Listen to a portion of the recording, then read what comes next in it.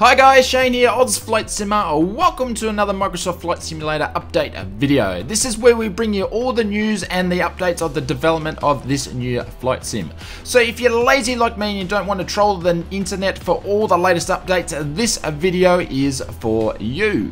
In today's video, we are talking all things alpha. That's right, the alpha build 1.2.5.0 was just made available for all the tech alpha users. And for the first time, the patch notes have been made available to the general public. So in this video, we're going to pick our jaw off the ground and we're going to cover everything that the patch notes mention and dissect what it means for the alpha users and the development of the sim. The first part that was mentioned as part of the update blog was a note from the development team. They thanked everyone for the amazing feedback since the last alpha release and they have made several fixes based on the alpha testers feedback. The main part I found interesting was when they spoke about airliners. They are receiving a lot of questions regarding airliners and the response was they are working hard to finish all the touches of the airlines and they want to make sure that the core functionality is right before they release it into the sim. In one of our last videos, we mentioned that the 2020 team placed a save today on their roadmap. Maybe this was all about airliners, so you can check that video in the card right here. So moving to the actual patch notes, the first area covered was the additional content. Most of this wasn't a surprise as we have covered it before. The Cessna 152 is cleared for takeoff and now in the sim. They have added training missions. This is great for new users as these missions will take you through the basics of altitude, instruments, takeoff, level flights and landings. The Sedona landing challenge has uh, now been added and also live events are added which are time limited activities that they plan to switch out with different types of events.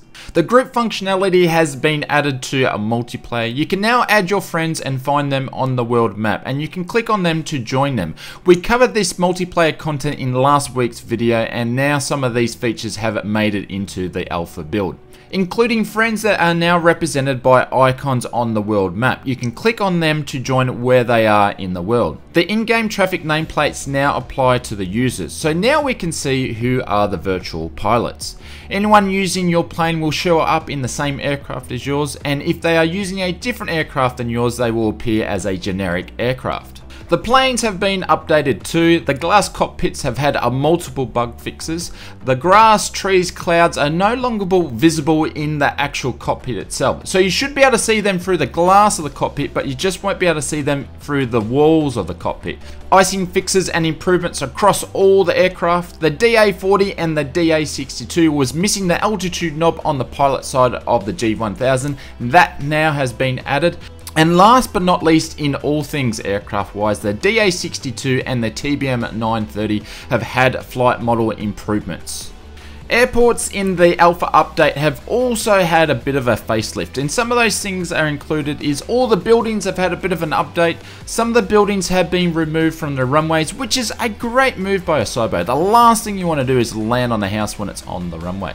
Some of the vegetations on and around the runways have been removed also. Improvements to some of the existing airports which were uh, parking spot placements, jetway placements, ground markings, airport life improvements, air traffic behaviour improvements. A bunch of the airports went MIA in the last build, including KSAN, KBOS, and KBHX, and a few more. And all of those have been brought back to life and have made it back to the current alpha build. Air traffic control has had a general update and improvements. We haven't heard much about ATC, but at least it's in the sim and it's being developed on. And hey, you can't get any worse than any of the current native ATC that's in the current sims today. Cameras have had an update too with some improvements to existing camera options and some new additions such as chase camera, drone camera and smart camera. The Microsoft team also talked about the flight model and it looks like it's had a large touch up as also. The team have worked on some of the issues that are caused by the ground instability. FSX ground effects was calculated once per aircraft on the center of gravity. The 2020 team have changed the code to calculate the ground effects separately for each surface of the aircraft. This reflects reality better as one wing may be closer to the ground than other. They have worked on the roll stability including dihedral and swept wings and improvements have been made to the takeoff trim. Sounds like someone at Asobo has been studying for their back exam. Controls, controls, and more controls. All have additional default inputs and presets have been added. As you can see, the list on the screen, uh, most of the big names have been included, which makes me a very happy man. And last but not least when it comes to this alpha build, a bunch of various bug fixes and improvements to the sim. Some of those which are worth mentionable are overall improvements made to the stability and the performance of the sim, visual improvements to the grass and vegetation, offline texture improvements, wind is impacted on grass and now trees, updated auto generation of buildings in the world to make them look more realistic, night lighting improvements, improvement to the street lighting and added wind turbines. This will help with the VFR flyers. There was a bunch more improvements and updates that I didn't include in this video. The ones that I mentioned were the biggest ones in my opinion. You can easily see that the 2020 team had been very busy with this update and it wasn't just a runner of the mill little one. This was a huge build and it seems to me like they are fair way along in the development of this sim.